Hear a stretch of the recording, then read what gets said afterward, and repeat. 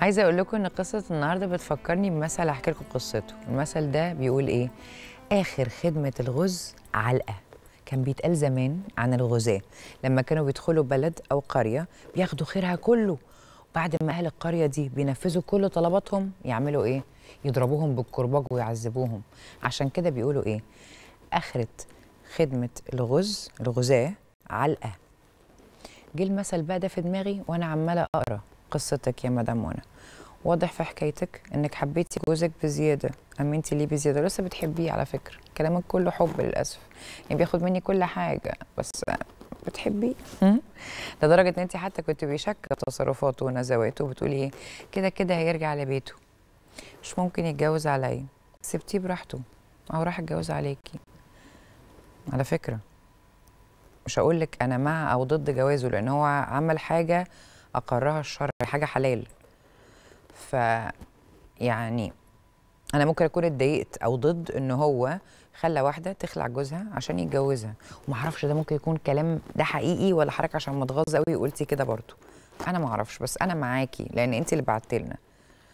لما اتجوزها اتجوزها عرفي في الضلمة. هي دي حاجة أنا أقول لك إيه ده؟ إزاي يعمل كده؟ لا طبعا. لأنه يعني زي ما إحنا عارفين وطبعا في حديث شريف بيقول النبي عليه الصلاة والسلام قال إيه؟ قال لا يخطب أحدكم على خطبة أخيه، يعني ما ينفعش واحد يروح يخطب واحدة أو يقول أنا عايز أخطبها يا جماعة مخطوبة، ما بالك بقى لو متجوزه، ده حرام. مدام منى أنا شايفة إن انت كنتي متساهلة مع جوزك بزيادة.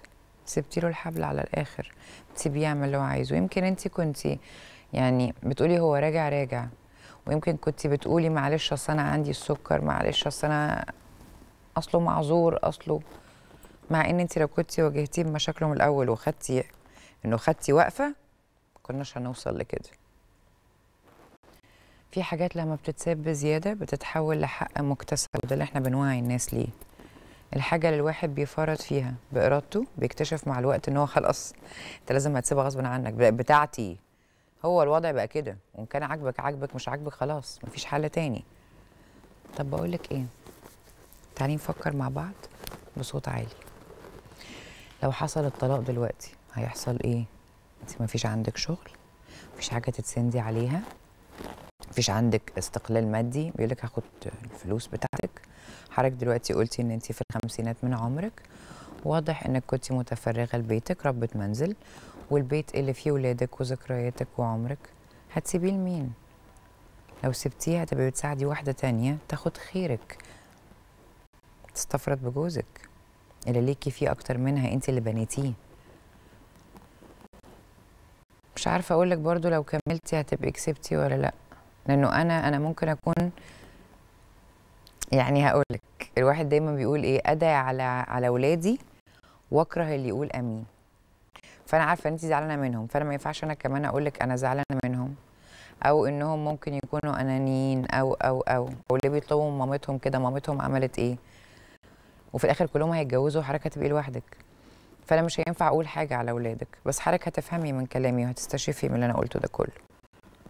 ما تسيبيش حاجتك لحد تاني. يعني أنا ممكن أقول لك إنه لو هيجي على صحتك لو حاسة إن انت خلاص مش قادرة أنا مبسوطة إنك فضفضتي.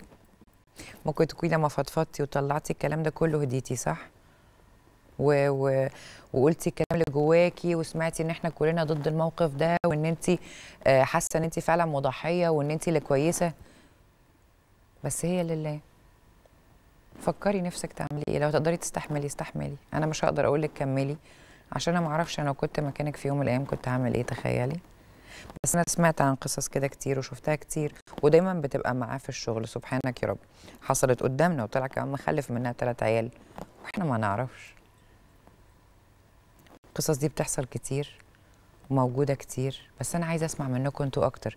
يعني إحنا حابين إن أنتوا تبعتوا لنا هنا على قصة حقيقية على فيسبوك وتويتر وإنستغرام وواتساب على كل حاجة. قولوا لنا لو مكان مدام منى هتعملوا إيه تنصحوها بإيه؟ وهل شفتوا القصص دي حواليكوا ولا لأ؟ وفعلا ممكن يكون في يوم من الأيام. بعد ما خدمتك وخدمت ولادك وكبرت معاك وكبرتك وعملت معاك كل حاجة تعمل فيا كده؟ هستناكم في قصة جديدة بس يكون أبطال حقيقيين لأن إحنا في قصة حقيقية. باي باي.